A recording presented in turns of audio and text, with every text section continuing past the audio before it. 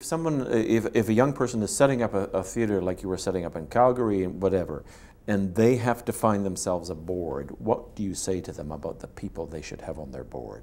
Firstly, you must find somebody from the communications uh, business. You can, you'll do better if you can find people who are in TV or radio who know something about connecting with an audience or something from companies which uh, sell time. What I mean by that is uh, an airline is very good because if a seat isn't occupied between Toronto and Vancouver, it can't be resold next week as you can do at Sears or something like that. So people who understand time, uh, selling time, are very useful on a board because people who are used to commodities or are into some other area, like lawyers, are not so useful. Oh my God, I hadn't thought of it like that. Mm. You have to have somebody who understands what you're doing. Because in the so, if you have a bunch of folks who are in the commodities businesses, they don't. Well, they're, they're, not into time. Yeah. Their stuff lasts forever, and you just a matter of getting it out of the ground or. Doing what you do. But people who uh, understand the idea of selling time are very useful.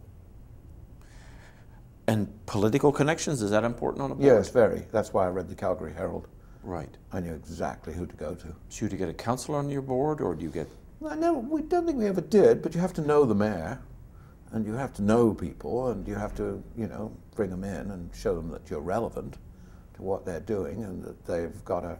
There's an audience coming to this theatre, uh, and so that audience also has votes and is interested. It's not just a little elitist group. You have to prove that, and constantly proving that. Look at, look at the destruction of the National Portrait Gallery by these idiots in Ottawa. Uh, I mean, they did, they made a mistake, and they're beginning to realize they made a terrible mistake now. But um, that's their first thought, because there are still a lot of Philistines. And it seems now that one of the primary functions of any board is to raise money. Yes. How is that? How is that to deal with? if they know what they're raising the money for, they can get out, they, they will do it. And some people can't raise money and don't like doing it. But uh, if, if there's a vision and there's something exciting that you're on, on top of, uh, then you can, you can make your board excited by it. But they have to have connections. They have to know where they can go to raise money. It, they, unfortunately, I mean, it's a, it's usually a limited pool, and what you want is people who can get out into outside of that pool mm -hmm. and say this is important. But constantly, you have to say what we do is important to the society, and why is it important? You have to keep reminding everybody why it's important. The mirror, holding the mirror up to nat nature. It's much easier nowadays. You've got Richard Florida over here at the, mm -hmm. you know, at uh, Rotman School, isn't he? uh, saying that what you need in a society is all these, uh, this creativity. To, to, release creativity, you have to start with creativity. Mm. It's the beginning of the thing. And the creativity comes in the form of, of people with ideas. And these people with ideas, at least in the past, used to gravitate towards the arts.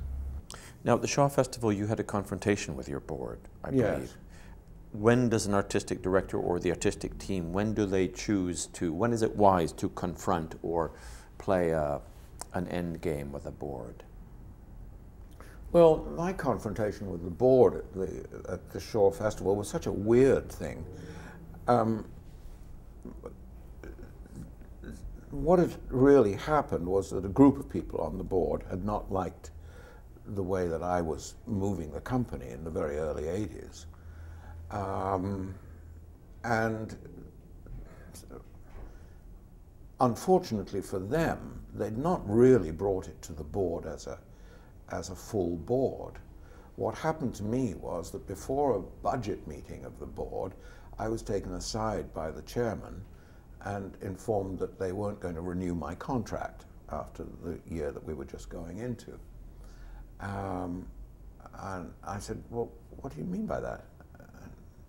are you firing me? And yes, that's what they were doing. But I realized that the whole board didn't know this, that the executive had made this decision. So I went around the rest of the board and said, look, this has happened. The executive made the decision that they're not picking up my contract, but they're not understanding what we're doing. look, we're doing this, this, this, this, this, and this. And I persuaded the rest of the board to defeat the executive. So, And you did that at that meeting, or No. it took a oh no, no, weeks, it- months? It took a month at least right? to realize that I was fighting back. Well, that's that can be very difficult for a board. The artistic director has power and can fight back, and I had power. And the power was bringing one by one the board members into seeing what you were trying to do. Yes. Yes, because they hadn't understood. And partially my fault. I hadn't laid it out clear enough. There was so much to do in the early days that I was at the Shaw, so many things to do, to fix, that I really didn't pay much attention to the board, unfortunately. I should have.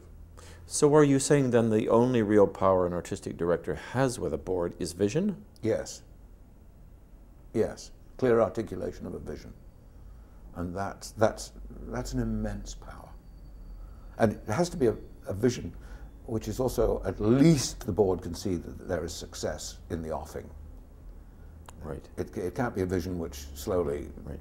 the, the audience is disintegrating. Right. It, uh, it has to be in the offing. They, they must sense something good is happening here. Have the have the it's sort of folklore. Have the nature of boards changed through the 80s when Canada Council cut for cut back its funding or theaters were not being able to be funded on that level by the Canada Council? Did the nature of boards change in the country? Yes, because the boards had to raise more money. Uh, it, it, and that's why development directors are so very highly paid. They have to help the board to raise the money. How you go in and ask for, for money for things. Is this working or is this something we should endeavor to change? I think it's working. I don't, I don't, society itself has enough money within the society. There's a lot of money sloshing around, and people can afford to give money to good projects. Um, I would like a bit more from the government. It would be helpful. But fighting, you know, fighting for money, fighting for an audience, it never hurt anybody. If you've got a really good idea, it doesn't hurt you. It really doesn't. Um, I mean, we got a bit burned with Shakespeare works because we couldn't couldn't quite get it all all the ducks in a row somehow there. Uh, we were quite close, I think, a couple of times, but we couldn't quite get it together. But usually, you can, you can. Um, it does depend on on good managerial skills. A, a general, a good general manager is is very, very necessary. It really is. Um, I was, generally speaking, quite lucky in who I ended up with as general manager of the companies that I ran. I, uh, I had some very interesting people, not the usual people, oddly enough. They came from different sources.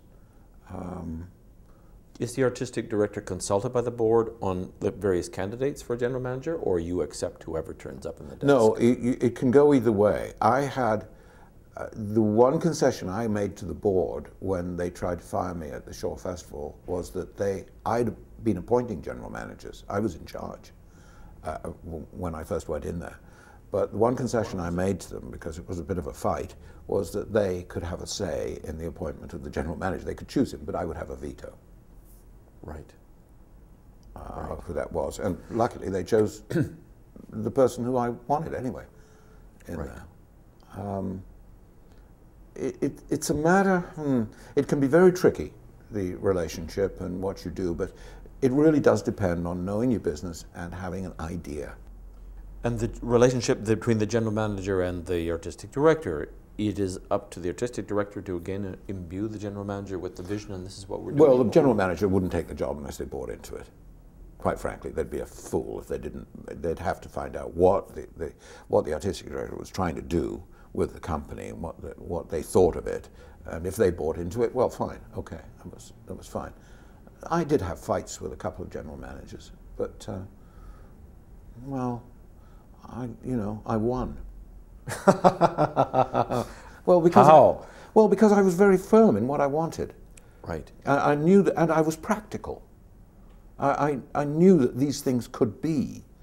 I, I could read a balance sheet just in a simple way. I knew what I knew how to read it.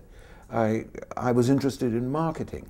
I wanted to play the shows that I put on. I wanted it to play to thousands of people because I thought it was great what I was making. I, I, I was devastated if people didn't show up. So I was interested in marketing. How do I get this out to the population that these things are interesting?